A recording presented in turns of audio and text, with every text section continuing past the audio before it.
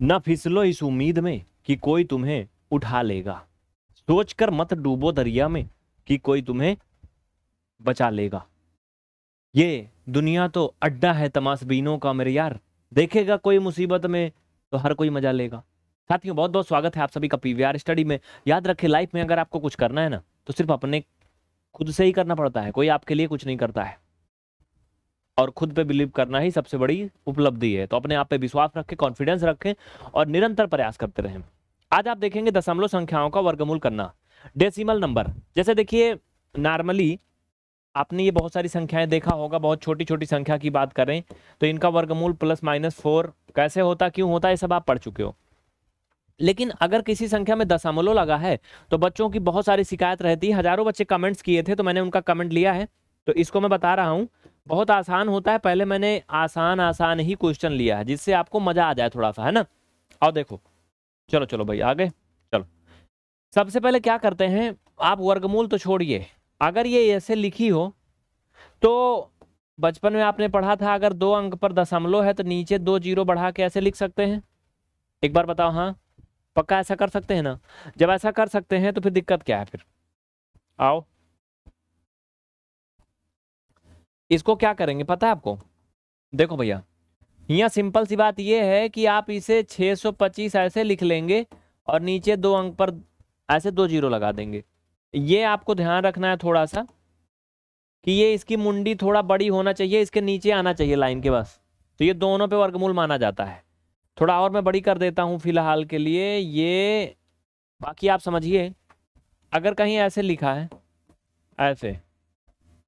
अगर ये वर्गमूल का चिन्ह सिर्फ़ इतना है तो ये माना जाएगा कि सिर्फ़ ऊपर चिन्ह लगा नीचे वाले सौ पे वर्गमूल का चिन्ह नहीं है। लेकिन अगर वो मेन जो लाइन है, उससे हल्का नीचे आ गया, इसका मतलब वो दोनों पे है। ज़रूरी नहीं कि पूरा का पूरा इसको ऐसे ढका रहेगा।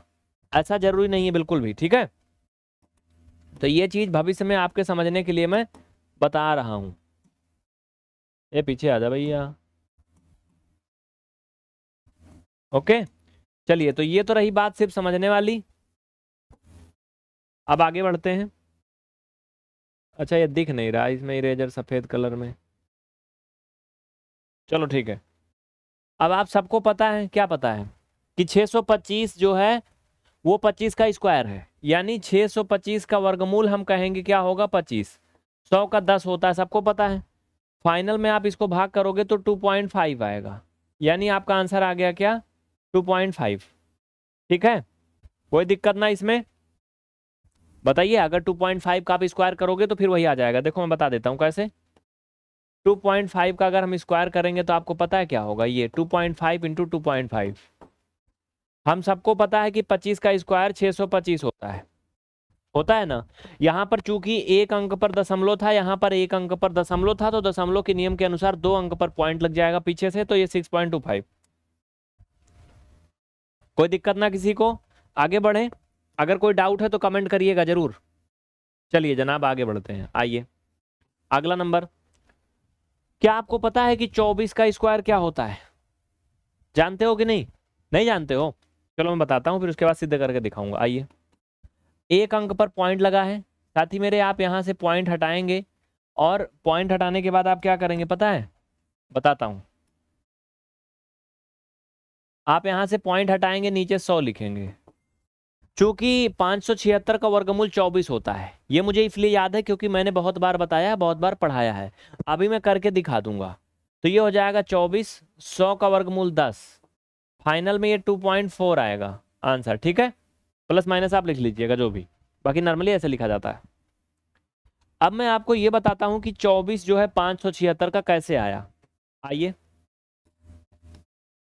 जिनको नहीं पता हवा में हो रहा है, उनको देखें। ये, आप इसको भाग करोगे पहले? पहली बात तो आपको विभाजिता नियम आना चाहिए। विभाजिता नियम के अनुसार ऐसी संख्या जिसका लास्ट का अंक ज़ीरो, दो, चार छः आठ है, वो दो से कंप्लीटली डिवाइड हो जाती है। मतलब शेषफल ज़ीरो आ जाता है। तो इसका मतलब पाँच सौ छिहत्तर को दो से भाग करने पर ज़ीरो शेषफल आएगा। तो हम भाग कर लेंगे, यानी कर सकते हैं। करिए दो दूना, चार। घटाओगे एक आएगा, ऊपर से सात, दो अठे, सोलह। घटाएँगे एक, ऊपर छः दो अठे सोलह। आप यहाँ पे देखिए क्या आया। शेषफल ज़ीरो आया। अगर शेषफल शून्य आ रहा है, इसका मतलब सही है। अब आप क्या करोगे, दो बार ले जा सकते हो। तो जो भागफल आता है, सिर्फ़ वही यहाँ लिखा जाता है। तो ये टू एट एट। यानी दो सौ अट्ठासी दूना पाँच सौ छिहत्तर। फिर से आप दो से करोगे, दो एकम दो दो चौक आठ दो चौकाठ फिर से दो से करोगे, दो सत चौदह, दो दूना चार। फिर से दो से, दो तिहाई छः दो छंग बारह ऐसे दो अठे, ठीक है, ऐसे फिर दो नवा अठारह, फिर तीन तरीका नौ, और फिर तीन एकम तीन। अब ये क्या बन गया? ये आपका आ गया वर्गमूल। इनमें वर्गमूल कैसे बनाते हैं बताता हूँ, यहाँ देखो भैया। अभी सामने से हट जाऊँगा, पूरा देख लेना, कोई दिक्कत नहीं है, सबर रखिए। पाँच सौ छिहत्तर। देखो यहाँ पे दो दो का तीन जोड़ा बन रहा है, डबल डबल का। तो ऐसे लिख लीजिए। दो जोड़ा बन गया। और नीचे क्या बना? तीन तीन का।